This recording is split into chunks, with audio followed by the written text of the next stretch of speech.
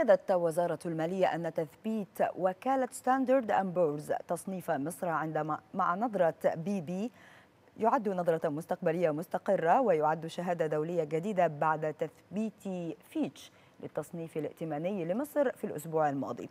وأضافت الوزارة أن القرار يعد إضافة جديدة إلى رصيد الثقة لدى المستثمرين والمؤسسات الدولية ودفعة قوية محفزة لاستكمال مسار الإصلاح المالي والهيكلي حيث يشير تقرير ستاندرد أند بورز إلى إمكانية النظر في إجراء تصنيف إيجابي على المدى المتوسط.